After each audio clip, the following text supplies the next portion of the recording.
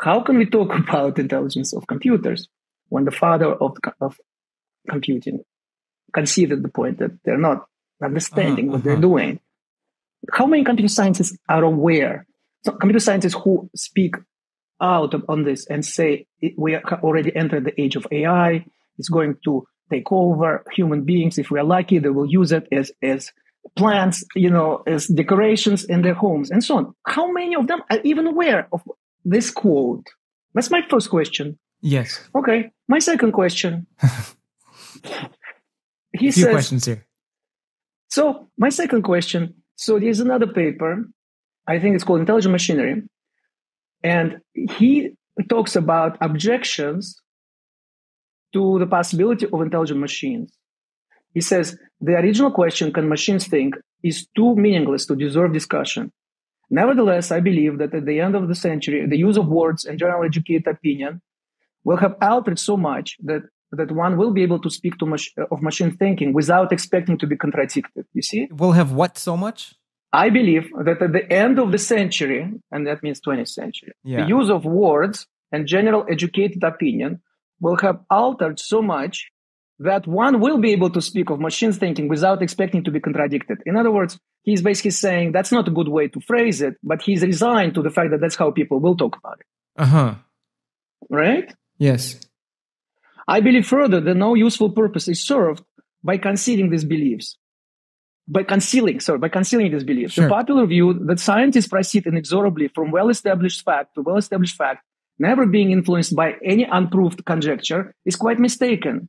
You see, conjectures are of great importance since they suggest useful lines of research. So for him, from the beginning, the possibility of intelligent machines was a conjecture. And now he says, and now he says, I now proceed to consider opinions opposed to my own. And he comes up, he comes up, listen to this. He, come, he comes up not with one, not with two. He comes up with nine objections, nine objections. And he carefully considers each and every one of them. And the one which he finds most powerful is what he calls mathematical objection. The fact that he himself showed that there are problems which are not decidable, which are not computable, which are not solvable by a machine, by a computer. This is a very important point. This is called halting problem. The halting problem, he realized that it has, cannot be solved by the, the, the question which Turing machines will halt, which Turing machines will not go into loop. Because you can enumerate all the Turing machine. And you can ask whether there is a, an algorithm or a Turing machine which will which will does the halting problem implicitly have an idea of the concept of infinity yes yes so the objection would be, well, hey, we just get rid of the infinity. Is look, you can't get rid of it. That's the point. You even you have to accept at least potential infinity because otherwise the position is untenable. Otherwise, your position is that there is a biggest number n and n plus one does not exist. This even finitists today they would not agree with.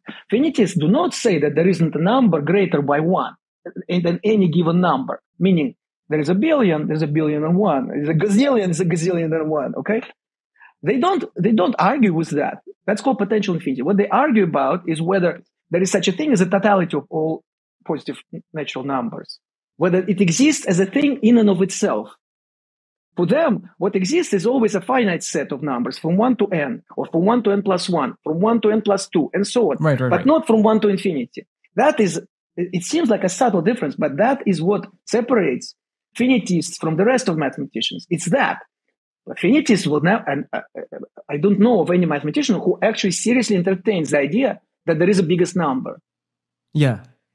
Because you know that there is this number, and then there is also number one, and then you know the operation of additional numbers. So how can it not give you n plus one? You see? So therefore, you cannot avoid potential infinity. You can avoid absolute infinity, which is what finities do, by saying that the set of natural, all natural numbers does not exist. Only its finite subsets at any moment. That is a reasonable position. But they still cannot avoid the fact that for every number there is one more. And that is what is that is what uh, gives halting problem. Not the, you don't need to assume absolute infinity for it at all. Just the thing that that it, it, that the machine runs. If it stops, you're in luck. But what if it doesn't stop? It means that in finite time you cannot decide whether it's whether it stops. You see, that's that is the cornerstone of, of the impossibility of solving the halting problem. Infinity is underneath it, but it's it's a infinity light. It's a potential infinity. I was speaking with Dror, Dror Bar-Natan. He's an ultra finitist. So I asked him explicitly, do you believe the number 5 to the power 100 to the power 100 to the power 200 doesn't exist? And he paused and thought about it. He said, no, doesn't exist. Okay. Yeah, and yet so, you, you just described it. So that's very interesting. Right, right, right. So it doesn't right. exist, yet you just named it. So what did you name? Uh, what, uh, yes. Well, you named a unicorn. You named something, right? Yeah. But anyway, I could be misquoting him or misremembering, so who knows? But there are ultra finitists. Maybe. I don't know. I think it's a bit of a um if I may say so, a little bit a little bit of posturing. It's a yes, bit of yes, posturing. Yes. So, professor, this seems yeah. I see the same passion that you have for math that you have for this subject, this new philosophical oh, yeah. subject. No, for sure. When did this start? This also started 10 years ago? Yes. So this started with the questioning of what am I doing this for? Is it correlated? It very much correlated. Very much correlated. Yeah. So I was going to say yes. So I want I wanted to say what what I quoted. I wanted to say which source. It's called Computing Machinery and Intelligence. It's an article Turing wrote in 1950. Okay, and so where he gives nine he gives nine objections to his own ideas and he analyzes them carefully. How many computer scientists do you know today who, um, number one, aware of the fact that Turing was trying to grapple with these issues from the outset, and he was very um, uneasy about them, right? Yes. How many computer scientists and proponents of AI, so to speak, or like acolytes of AI, how many of them actually aware what the father of their subject was thinking about it? And number two, how many of them put in their papers objections to their own ideas and seriously engage with those objections instead of dismissing them outright? Mm-hmm. I'm not sure how many will answer um, the, yes to both questions. I'm not sure.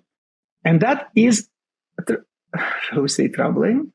So we say disconcerting. Why is it that the father of the subject felt it imperative upon himself to engage critics in a very serious way and sincere way. And by the way, he, was, was in dialogue with Gödel because it's very connected to Gödel's incompleteness. And he was aware, was aware right away of this, and Gödel too.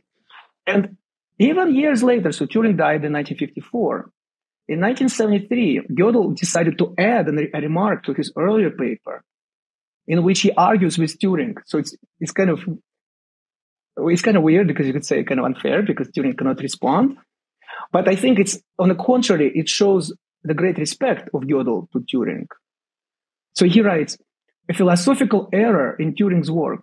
Turing, uh, Gödel writes, and this is, I think, I believe in 1973, 74. And he says, Gödel, quote Gödel says, Turing in his, his 1937 paper gives an argument which is supposed to show that mental procedures cannot go beyond mechanical procedures. However, this argument is inconclusive. Okay? Uh-huh. What Turing disregards completely is the fact that mind in its use is not static, but constantly developing. For example, we understand abstract terms more and more precisely as we go on using them, and that more and more abstract terms enter the sphere of our understanding, and so on. So he, he gives a technical argument. And I'm not trying to say he's right or he's wrong. They engaged with each other in a dialogue from the beginning because they understood the importance of this question. They understood the implications for our society. And Turing was right. He said by the end of the century, this will become commonplace. And a lot of people will be saying this.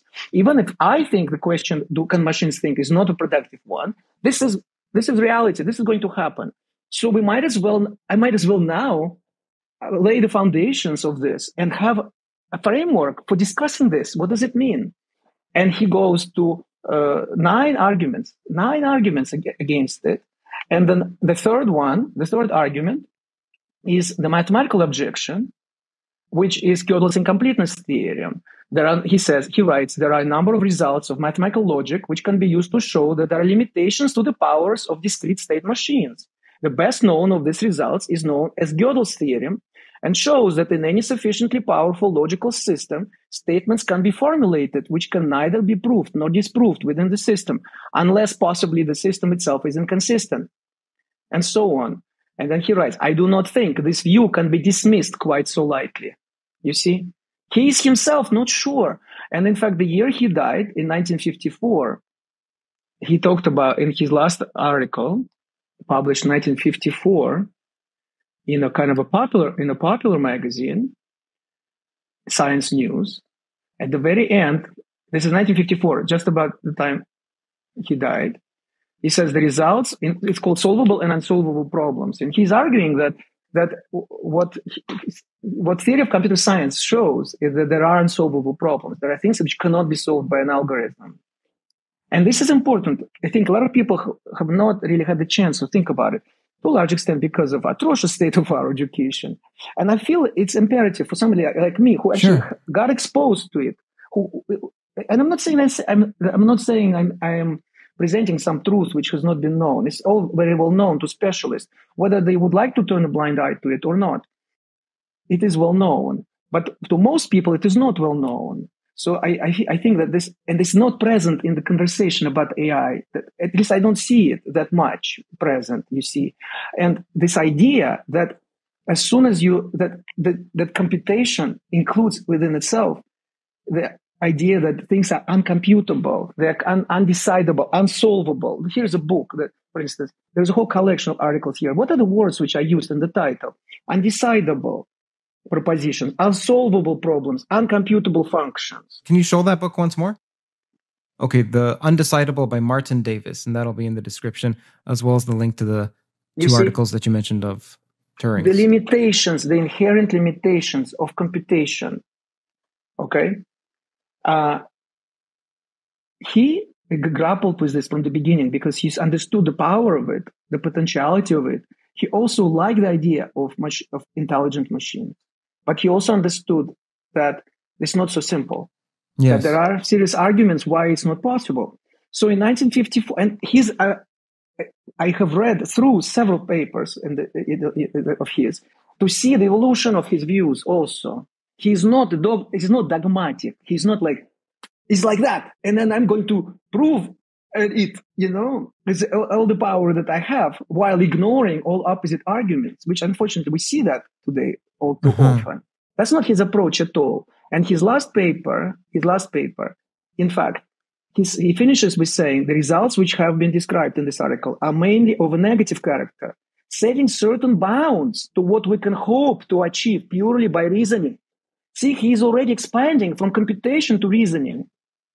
He says this and some other results of mathematical logic may be regarded as going some way towards a demonstration within mathematics itself of the inadequacy of reason, quote unquote, unsupported by common sense. Inadequacy of reason unsupported by common sense. Are you aware of Penrose's and Lucas's argument that says of that? Of course. He... Oh, yes. Penrose is fantastic book. I have it here, you know, uh, the book. This. And actually, there are two books, but this, I love this one. You see how many bookmarks? yeah, yeah. So here's something that you made me think about in ancient Greece, there's something called the unity of virtues. Have you heard of that? To some extent, I suppose, yes. Yeah, okay. Yeah. So basically, it says that you can't have one of the virtues without incorporating the rest as you increase in the virtues. You can't be brave without being honest. True bravery requires honesty, and then true mm-hmm. honesty requires courage. I wish, I wish it were, so, I, I wish it were so simple, but okay. Yeah. Well, anyway, they were saying that as you have more and more of them, they unify at something like the most good, which they would equate with God. Mm-hmm. Then you had me thinking, well, okay, look at this. We're taught more to think algebraically and algorithmically than we are to think in the way that the Greeks did with lines and circles. So less geometric. At least, and this is my case for my education. Mm-hmm. And then I was thinking, well, the people who are the most playful with their ideas and creative and poetic and romantic. They tend to be the more geometric side of the mathematicians. So, for instance, Einstein, Penrose, Michael Atiyah. And then I was wondering this is a huge speculative jump. Is this in some way related to prioritizing this algorithmic, symbolic, syntactic manipulation over something that's more physical and geometric. And I'll give another quick example. I never cared about why can't you put a circle in a square? It's something like squaring the circle or a circle outside of the square. Because I'm like, who cares? You can just draw that. But then there's a specific set of rules with compasses and so on. That never I'm just trained algebraically, like trained in terms of that's how I studied in school. Mm-hmm. I wonder, and most of my generation is, maybe even your generation. And I wonder how much of this dismissal of of these grand ideas comes from a dismissal of geometry, like picture proofs are, hey, look, if you rearrange this, you, you can you can have there is something to what you're saying, and there is a famous quote which I don't remember who said it, maybe Atiyah, that uh, God is like influence mathematicians through geometry and devil through algebra, you know, through ah, symbolic manipulation. Okay. Wonderful. Okay. So wonderful. There is some truth to it. In, in other words, there is more imagination in some sense in geometry. Langlands program, in a way, is what tries to unify discrete and continuous and, and symbolic algebraic with geometric imaginative in a way. That's what I find beautiful. Ultimately, all of these distinctions that we make, these are all distinctions in our mind. They're all the uh-huh. distinctions. This is a story we tell ourselves. If I believe that there is a boundary, there is a, um, a line between the two, this is how it is for me then. If you enjoyed that clip, then the full podcast is out right now. You can click around here. Enjoy. Subscribe to Theories of Everything to get notified of upcoming podcasts as there are new full length podcasts every week on the topics of mathematics, physics, consciousness, free will, and AI.